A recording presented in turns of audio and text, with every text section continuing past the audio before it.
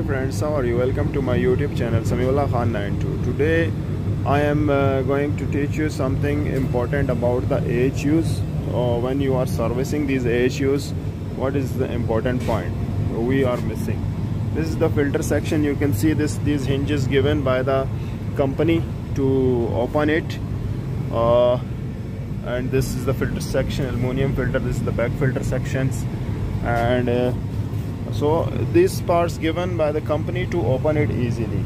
But there is something we are missing when we are servicing the AHU and we have another side. We can see the other side of the AHU is this is the our other side. I'll show you. And this is the blower section. This is the blower section. You see company give the hinges here also. We can easily open it. We open the L key locks here. These are the L key locks we can open and easily open the hinges like from here. And this is the blower supply fan section. What is the important point i am going to teach you about this? That uh, when we are servicing this from we open this area and service from here uh, the coil and the filters and from the other side i show you from the blower side and the other side we will service it. But we are what we are missing you can see this section this cooling coil section uh, there is no hinges given by the company. So you maybe you think uh, and there is the pipe here and in the downside.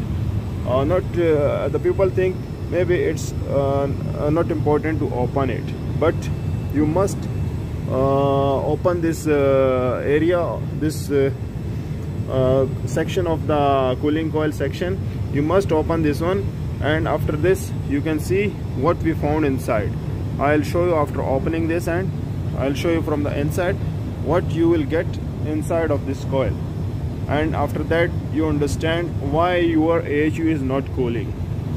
So here we goes we open the AHU that section I told you we can see from inside what is inside. You can see this dirt inside how much the layer of uh, dirt is inside the that section which we are not opening so you must need to open that section of the uh, AHU also.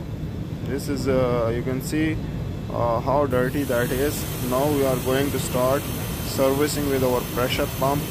So you need a good pressure pump to clean this all dust from that area that layer of the uh, dirt.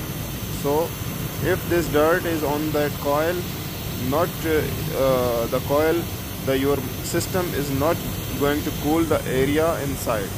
So you must need to uh, clean it properly with the pressure pump.